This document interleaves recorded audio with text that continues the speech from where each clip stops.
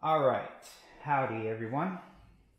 Let me squeak past this tripod here. All right, so I'm going to demonstrate a little bit on how I plan on drilling these holes on this round sleeve that I was just talking about earlier. So you can use a milling machine, a drill press, it really doesn't matter. Um, as long as you have some kind of an XY table where you can move your piece back and forth or if you don't, you can set up a fence on your drill press so that you can continuously, whenever you move your tube around, you can basically put it back in the same location. But for this purpose, I just want to show you how I'm going to do it with the tools that I have. So the first thing I have is, is this tool here. This is a center finder for round stock. You chuck this in your drill press and then your round stock will be in your vise and then you, you come down and you find your round stock and it will deflect this arm. But then as you move your fence or you move your XY table, your round stock will move and it will move the tool until you get these two lines lined up. Now you know that your drill chuck is centered over the tube and I'll start with that. So, let me get this in. Snug it just a little bit so it doesn't fall out. Now bring this down. Let me offset this a little bit. So I'm going to bring this down until it rests on the tube and you'll see it deflect. See that? do it again. Bring it down until it rests completely on the tubing just like that. You can see that it's deflected. And now all I need to do is move my, my round stock until the lines on the tool line up. You can see how it moves. I'll go past it. You see how that moves? It follows the tubing. So now I'll just dial it in until those lines match on the tool. Just like that check it. Right there. All right, so now I know that my drill chuck is in perfect alignment with the center of this tube. So I'm going to tighten down my stops a little bit. It's good. So now that alignment is done. Now at this point, all I need to do is put in my drill bit. Now what I like to do when I'm drilling on rounded surfaces like a piece of tubing, I like to use what's called a center drill. This little drill, um, it's not an actual drill bit, it's basically just used so that you can locate and start a pilot hole. Use a drill bit on a rounded curved surface, the drill bit, as it comes in contact, it's going to want to roll around. This will not do that. These come in different diameters, so I'm using a relatively little one. Put it in here. Of course, tighten it down. And now that I've got, using the alignment tool that I just showed you, this is not going to move. So I can unclamp it, I can spin it around, and I can move it, whatever I want to do. When I clamp it back into place, it will still be in alignment with this.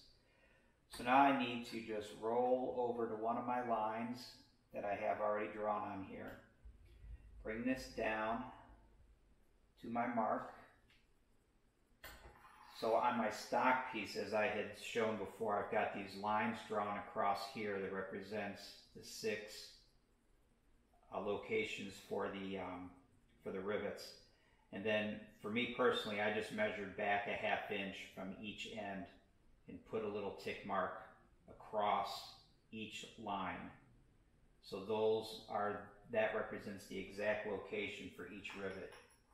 So now all I need to do is put the tubing in, bring my center bit down as close as I can get it to the tube, and then just line up that mark. Once I have the mark lined up, underneath the uh, centering bit, the center drill. Lock it down. Now at this point, I just drill. All I got to do, is I'm going to add a little bit of cutting fluid. I use my center drill to start the pilot hole, take it out, put my number 30 drill bit in, come down, make the hole, rotate this, bring it down, get this, the uh, center drill over top of the mark, tighten it, center drill it, drill it, move on to the next one. That's it. That's how I'm going to do it. I'm not going to bore you with videotaping the actual process. I think it's kind of, I think you can kind of figure out where I'm going with it. So that's what I'm going to do. Let me get those drilled. I'm going to do both ends and then uh, see how it looks. All right, talk to you later.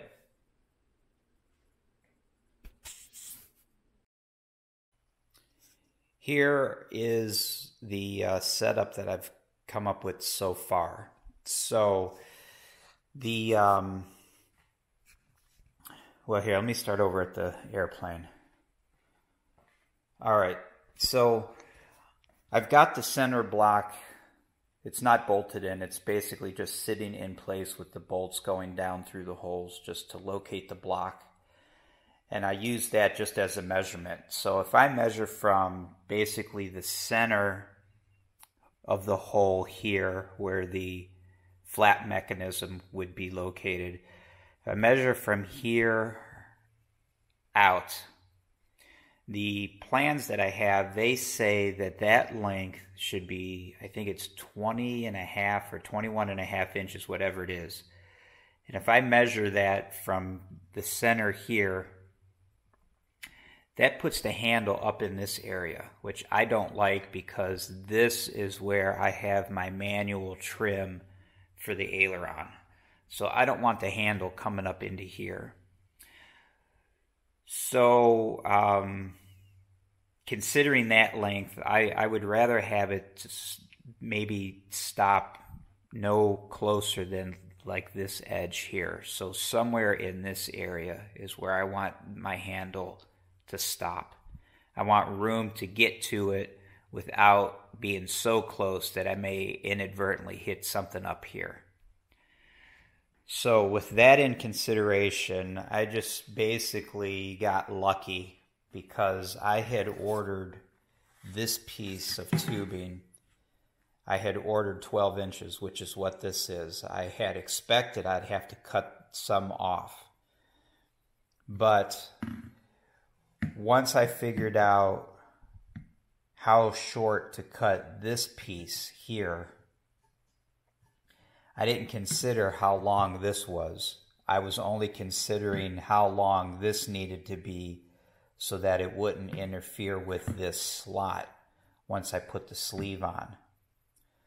So I went ahead and I cut this and then I figured out what length I wanted this to be and then I took a measurement and I thought, okay, I need like 13 inches.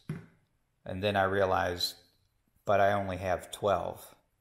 I should have either bought a longer piece of this or I should have not cut so much off of this piece here.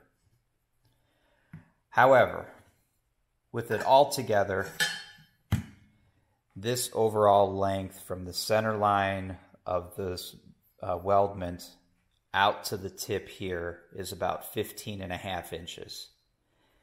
And if I measure that on the airplane, that puts the end of the handle roughly about right here. So I'm going to go with that. I don't know that another inch or two would make that much difference as far as a mechanical advantage goes. And like I said, I've already gained some mechanical advantage using this with the shorter arm. So at this point, I'm going to go with what I have. Obviously, I have no idea how well it's going to work uh, in flight, so that's something that we'll have to revisit when the time comes. So I have this piece now made and you can see I've got the slot in it. Of course, the slot goes all the way through. And uh, I know, again, I understand that not everybody has a milling machine, but uh, obviously You can probably tell by looking at how clean this is that I've made this on my milling machine. Here's the sleeve and it's been drilled. As I said, I had it located. I had the lines located. I had the marks located for each individual hole. And this was done on the milling machine as I just explained. So now this is done. All I have to do at this point is clock this rather than just throwing it on here and match drilling it. I want to clock it so the holes are lined up, either have the holes lined up vertically along this line or rotate it so the two holes kind of straddle that vertical line. I just want to clock this to make it look nice. Then of course this piece, this is very important. This needs to be oriented so that it, that slot is straight up. If it's off at all, it's to interfere with the piece that has to fit through here.